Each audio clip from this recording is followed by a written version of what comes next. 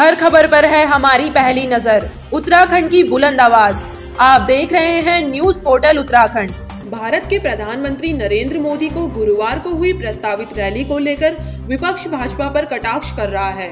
इसी के चलते कांग्रेस के वरिष्ठ नेता सुमित हृदेश ने प्रधानमंत्री की रैली को निराशाजनक बताया। उन्होंने कहा कि जिस प्रकार से प्रधानमंत्री ने हल्द्वानी के लिए 2000 करोड़ की घोषणा की है वह पैसा किसी गरीबों के काम में लगाते तो शायद किसी का भला होता। और जिस प्रकार से 17,000 करोड़ की योजनाओं का शिलान्यास और लोकार्पण प्रधानमंत्री के द्वारा किया गया वह कब तक पूरा होगा यह देखने का विषय है। प्रधानमंत्री पूरे भारत के नेता हैं, वह किसी व्यक्ति विशेष के नहीं। जबकि भारत के प्रधानमंत्री का दौरा था। वह सरकारी था, ठीक है। उनकी योजनाओं का शिलान्यास और लोकार्पण करना था। लेकिन भाजपा के लोगों ने इसे भाजपा की रैली बना दिया। जबकि प्रोटोकॉल कहता है, सभी विपक्षी नेताओं को भी प्रधानमंत्री की रैली के लिए आमंत्रित करना चाहिए था। लेकिन भाजपा के लोगों ने ऐसा नहीं किया। इससे साफ़ होता है कि यह जो प्रधानमंत्री की रैली थी, केवल भाजपा की रैली थी। और 2022 के चुनाव को लेकर प्रधानमंत्री के द्वारा संबोधन कराना था। यह कोई सरकारी रैली नहीं थी, जबकि पैसा सरकारी लगा है, क्योंकि प्रधानमंत्री के आने से पहले रातों रात हल्द्वानी की सड़कों की हालत ठीक कर दी गई।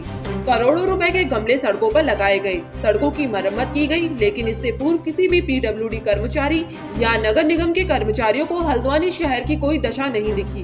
केवल सरकार के पैसों का दुरुपयोग भाजपा के द्वारा किया जा रहा है। पहले तो घोषणाएँ जो कुमाऊं विशेष के लिए उन्होंने करी, उसमें जमरानी बाँध का कहीं भी ज़िक्र नहीं था, नाम तक नहीं लिया। दूसरा विषय ये था कि 2000 करोड़ की जो उन्होंने बात करी, इतना तो अगर पूरे उत्तराखंड में भी पाँच साल में सड़कों के विकास में और पेयजल की समस्या के लिए अगर इतने पैसों का इस्तेमाल हो गया होता तो कहाँ से कहाँ उत्तराखंड पहुँच गया होता।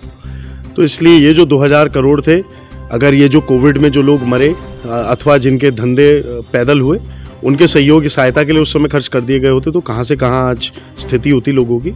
तो मेरे को ये लगता है कि जाते जाते घोषणा एक वो दे गए लेकिन पाँच साल में जो उन्होंने ही नारा दिया था स्वयं प्रधानमंत्री जी ने कि डबल इंजन की सरकार मैं आपको दे रहा हूँ, वो डबल इंजन ना तो इंजन आगे बढ़ पाया, ना बोगी उस पर फिट हो पाई। और अब लोगों को इंतज़ार है कि कांग्रेस जो वास्तविक बातें करती है और कार्य ज़मीन पर करती है, कांग्रेस की सरकार बनाने का लोगों ने मन बना लिया। भारत के प्रधानमंत्री थे जहाँ तक देखा जाता है कि शिलान्यास और लोकार्पण करने आए थे, केवल भाजपा की रैली थी, सरकारी रैली तो कहीं से कहीं तक थी नहीं। हाँ नहीं देखिए, मेरे को आश्चर्य ये हुआ कि महामहिम गवर्नर साहब भी मौजूद थे और प्रोटोकॉल ठीक है, प्रधानमंत्री जी का था ही, सरकारी सरकारी कार्यक्रम था तो क्या कहते हैं, निमंत्रण विपक्ष के नेताओं को भी मिलना चाहिए था, प्रधानमंत्री जी से सबको मिलने का अधिकार होना चाहिए था। यहाँ की जो ज्वलंत समस्याएँ हैं, जो आज के परिप्रेक्ष्य में हम बात करें, हमारी निगाहें इस पर भी टिकी थी कि आईएसबीटी या जू इस पर कोई निर्णय लिया जाए। लेकिन ये जो हमारी आँखों के सामने जो समस्या है, उनके आने पे 10 करोड़ रुपए की पीडब्ल्यूडी ने रा, राजपुरा से लेके एम बी इंटर कॉलेज तक की रोड पे तो खर्च कर दिया। लेकिन उसके अलावा जो सड़कों की गति है इस शहर में उस पर कोई विचार नहीं हुआ उस पर कोई बात नहीं कही गई। तो ये जो घोषणा वाला विकास है उससे बेहतर कांग्रेस का ज़मीनी विकास है। हमारा ट्रैक रिकॉर्ड कोई भी देख ले कांग्रेस ने ज़मीन पर विकास करा है। इसके हमारे पास अनेकों उदाहरण है सैकड़ों उदाहरण है और जनता उनको याद करते हुए आगे कांग्रेस की सरकार बनाने का मन बना चुकी है। हर खबर पर है हमारी पहली नज़र उत्तराखंड की बुलंद आवाज़। आप देख रहे हैं न्यूज़ पोर्टल उत्तराखंड।